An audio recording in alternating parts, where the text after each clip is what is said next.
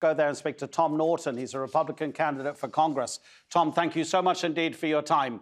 Uh, who do you believe more, the president or the scientists? Well, you got to ask which scientists you're asking on there. I support the president. There's some scientists that are taking this overboard. We had 59,000 people die of the flu last year. And if you look at countries like Sweden and other areas that are actually practicing social distancing without all these lockdowns and 50% restrictions on restaurants and bars and things of that nature, and actually using real human education, they seem to be doing quite well without spreading the virus. So, the balanced approach, I believe that President Trump is listening to scientists.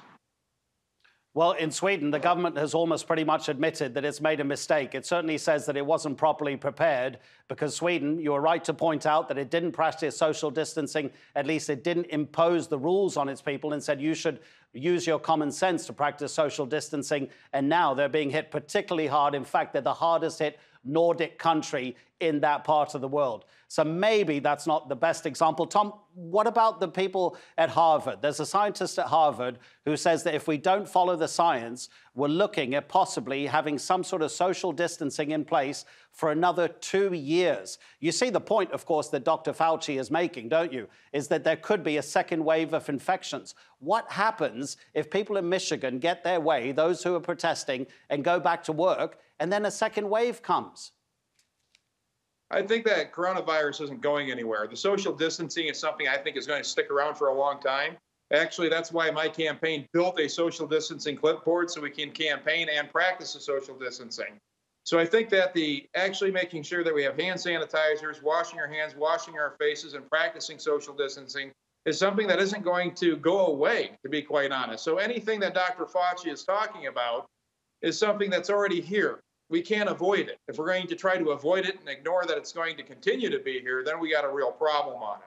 The president's even talking about continued social distancing for a long period of time, and there's some scientists that have also said that the uh, coronavirus has been overplayed to a degree. I know one individual, he came back with, well, she came back with a false test or a false ne- or a negative, and the doctor said, "Well, you have all the symptoms, so we're going to declare it the coronavirus." That's a firsthand story just for me. So I think social distancing's here to stay for quite a long time. I don't think it's going to go anywhere. So that narrative isn't there. The folks in Michigan are saying, hey, you're letting people buy pot, but you won't let them buy paint. That doesn't make any sense at all. You won't let them go fishing with a motorboat.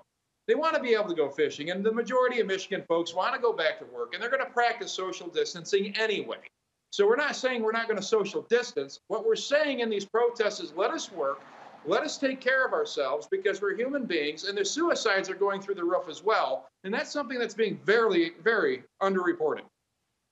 Tom, we're only talking about another 10 days or so, aren't we? Uh, are people not prepared to wait another week and a half to make sure that the curve is properly flattened and that there is capacity in Michigan's hospitals. I mean, more than half the counties across the United States don't even have intensive care beds. You're lucky. Michigan's pretty well developed. You've got some big cities there. But can people not wait for another 10 days and then take it slowly from there? Well, once you release them out, the virus is going to spread again a little bit anyway. It's how viruses work. It's going to be around here next year. It's not going to go anywhere. It's here for the long haul. In Michigan, we didn't react properly anyway. We have a chemical and biological warfare unit right here in the state of Michigan.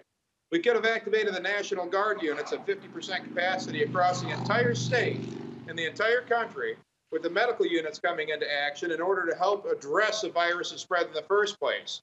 But instead, we all wanted to throw up our hands and surrender. And a matter of fact, the majority of hospitals are actually laying people off because they aren't busy. So the United States does have the medical capacity because we have a capitalistic healthcare system. Tom, thank you so much indeed for your time. Really appreciate it. Tom Norton, who's running for Congress in the state of Michigan.